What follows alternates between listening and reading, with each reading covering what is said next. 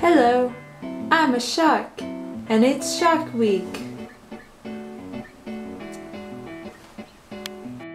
This week on Pebbles for Sale is Shark Week, and I decided that I was going to try to teach you a little bit about sharks. And I chose the whale shark because they seemed nice. So put up with my awful drawing skills while I teach you a small part about the whale shark. Yay!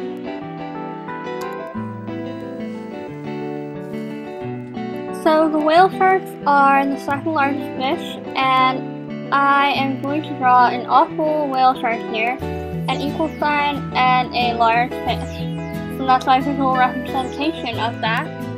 But Discovery told me that it was the second largest fish, so in my research I decided to look up what the first largest fish was, and it just kept telling me that it was a whale shark.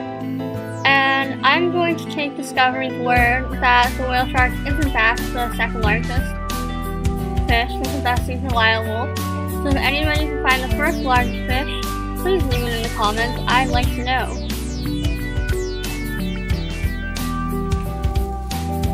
The whale shark is approximately the size of a school bus, which is really quite large and scary. So here is me drawing an awful school bus then I'm going to put a awful whale shark underneath because I suck at that.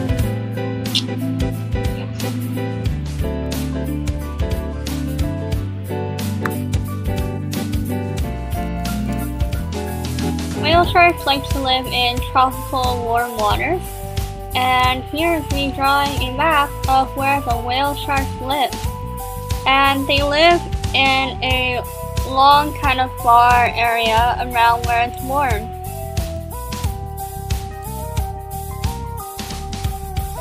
So this is a long far area that I was talking about they live in and yeah, see, male sharks live here. I think that's what I'm going to write.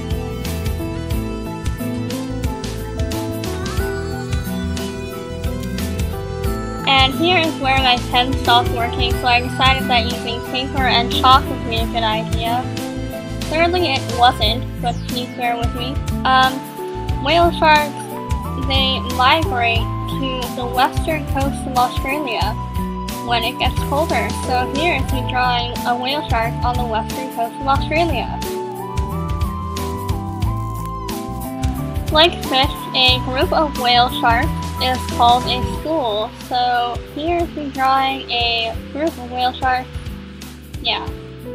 And they're called a school, so if you can't remember, just watch Finding Nemo and then they'll tell you that a group of fish is called a school.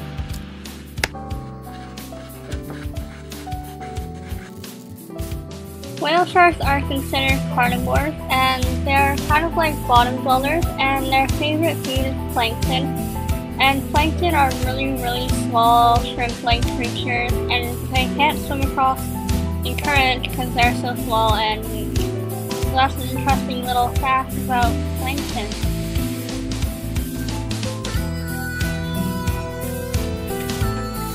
I decided that would probably be a good idea to actually show you a picture of an actual whale shark. So this is what they look like. They are not intimidating like I've been drawing them. And they're really large. So here, yeah, an actual whale shark so you guys aren't misinformed. Thank you for watching and listening to me terribly explain to you a few facts about the whale shark. And yeah, thanks to me up my horrible, horrible drawing skills and the fact that my pen ran out not even halfway through this video.